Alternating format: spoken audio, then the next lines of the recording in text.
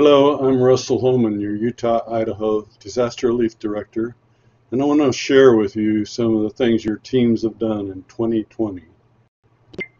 When we are invited into churches, we have a short presentation at each service, followed by a chance for people to get individual information and sign up for upcoming trainings. We'd love to have an opportunity to do this at your church.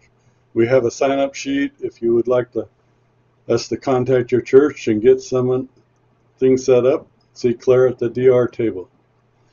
January National Roundtable was held in Kentucky this year. We had national committee meetings for feeding, rec recovery, childcare, chaplain, and more. We had regional meetings where every state and each region got together to plan changes and activities for the next year. We celebrate special volunteers each in each area, and the directors of each state meet creating agendas and exchanging information about their individual states. Home Depot and Lowe's both presented programs to support SBDR.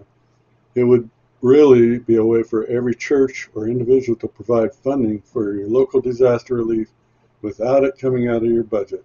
You cannot just go in and sign up at your local store.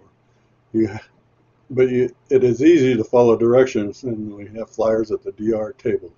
A portion of every purchase you make goes directly to disaster relief. This program does not affect any discounts you receive. These funds allowed us to purchase a new child care trailer, send teams to California fires, to Puerto Rico Hurricane Maria, and to Hurricane Laura in Texas and Louisiana. So please sign up and encourage every person in your church to become involved.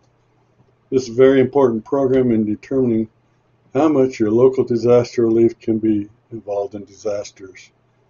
Due to developments around COVID-19 and out of abundance of caution, the Utah Idaho SBDR Roundtable was in trainings and travel were canceled until we received new COVID guidance. We have encouraged members to help with food banks and other community outreaches during this time.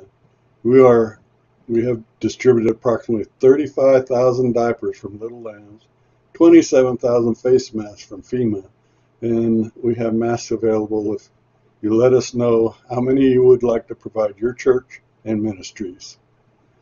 We have had local opportunities to assist homeowner, homeowners due to earthquake, windstorm, and fire. We have had done mold remediation. We have chainsaw teams still doing cleanup from September 9th windstorm. The shower trailer has been deployed for mission ministry, and we have nine chaplains that volunteered for the New York City COVID hotline. We developed, we deployed a feeding team to Texas, Louisiana for Hurricane Laura. Our main purpose is to share the gospel with homeowners. We now have small trainings in different areas. We have had introduction shower, feeding, recovery, chainsaw assessment, water purification, chaplain, and operational stress first aid. These trainings are open to anyone over 17 years old. Nationally, we've been very busy, almost 60,000 volunteer days. 702,000 meals were prepared. And the reason we are there, 801 professions of faith. Your giving and prayers make it possible for your DR teams to be involved. Thank you for listening.